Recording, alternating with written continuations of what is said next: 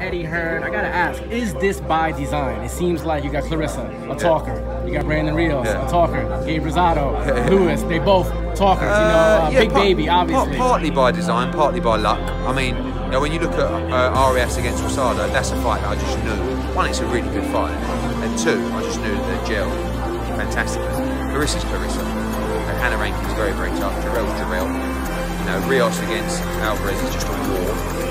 So this is a card that actually, like when you announce, you get the haters who go, "Oh, Rios against Alvarez." Oh, but actually, watch it. It'll be an absolute war of a night in Kansas. So I'm excited, and I think it's a really good gel of personalities as well. I don't think you know if you think. I think everybody sitting there enjoyed that press conference. Do you know what I mean? It wasn't like. So yeah, I think it's gonna be great. Has that been a part of the recruitment process? With A little bit. I want like personality. Yeah, I want. Yeah, listen. We want elite fighters. We want great fighters, but we also want personalities. We want people that have got good followings and people that can drive interest into the show. And I think we've got a nice mix of that here.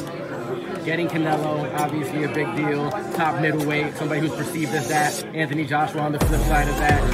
Has that been an easier bargaining chip to bring other people in? Yeah, much. I mean, since the Canelo signing, there's been a lot more conversations with people who are on the fence. You know, what people are being told at the moment, particularly PBC fighters, is we'll get you a pay-per-view date, right? And now you look at it: Wilder Fury, Pacquiao Broner, Spence Garcia. When's it going to stop? So there's no Showtime boxing scheduled at the moment. Till when? February? Apart from pay-per-views.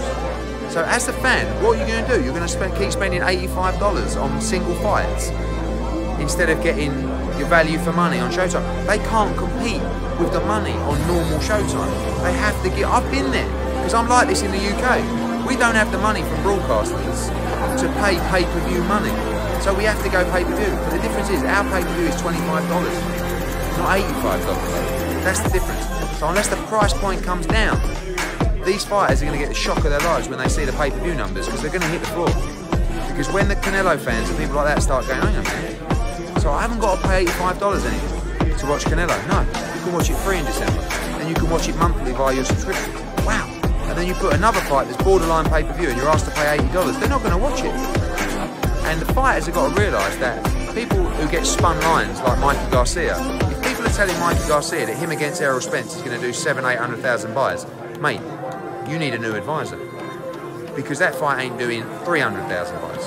And what happens when your paycheck, you've been told you were going to get money for 800,000 buyers and it does 200,000 buyers. and you've just turned down massive guarantees? Canelo was smart.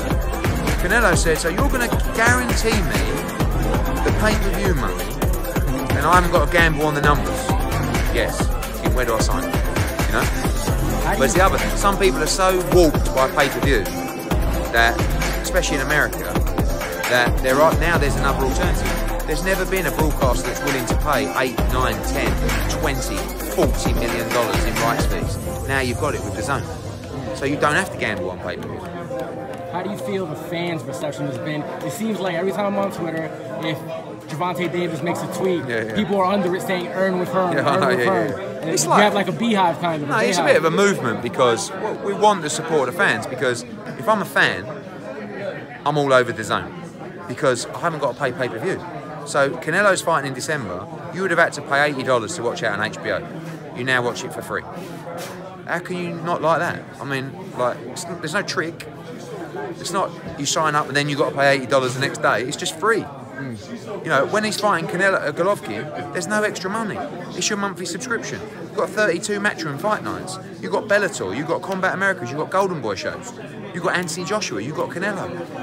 Pay per view's dead. It's over. But don't get me wrong. When there's a Mayweather